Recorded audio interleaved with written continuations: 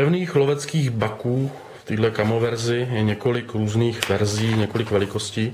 Přiznávám, že ani já sám se v tom moc nevyznám, že v tom ještě nemám přehled, čím se od sebe lišej. Tohle je takový kratší skinírek, rozhodně lovecký nůž. Tou velikostí a e, tím, že je pevný, tak by měl dobře nahradit zavírací nůž. Takový kompromis.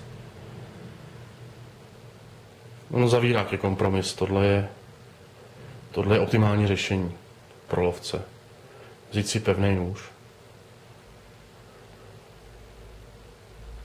V této v té kratší poloze se krásně drží. Ta delší, ale taky to ujde, i když vám končí rukojeť před malíčkem. No a pro bak typický polstrovaný pouzdro. Pouzdra jsou velice příjemný. Jsou sice trošku objemnější, než, než by bylo pro takový nůž nutný, ale zase můžete ho snadno do kapsy nebo do batohu. Nemusíte se bát, že, že, že vás bude někde tlačit nebo že vám něco protlačí a rozbije v tom batohu.